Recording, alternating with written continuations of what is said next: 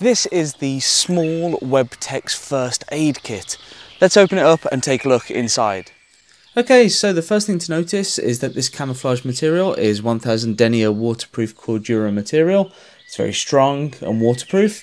It also has the words first aid pack on the front and a first aid symbol to make it easy for people to find. On the back there are multiple fixing attachments. You can place this vertically, say on your backpack strap or through your belt here with the horizontal loop. Let's get inside to see some of the contents. There's a baggie full of medicinal help there, and inside we have that waterproof fabric again. We'll open this so that you can see. This is the small selection of first aid items with antiseptic cream. That's 50 grams. We have a bandage, which is 5 centimeters by 4 meters.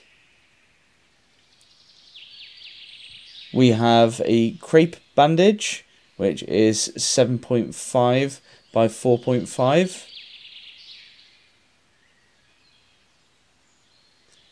We have here some non-adherent dressing,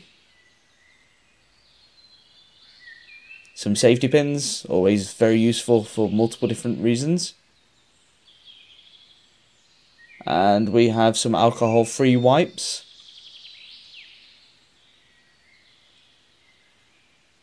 Here are some waterproof dressing strips or plasters or band-aids in America.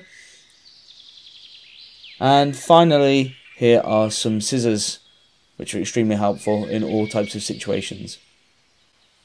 It's going to be great for those who want to add a little first aid pack to their bag, to their belt, and with those multiple fixings, you can pretty much add it anywhere that you want it to be. And you really should be taking some first aid with you, even if it's only a small pack when you're out in the wild. You never know when you may need it.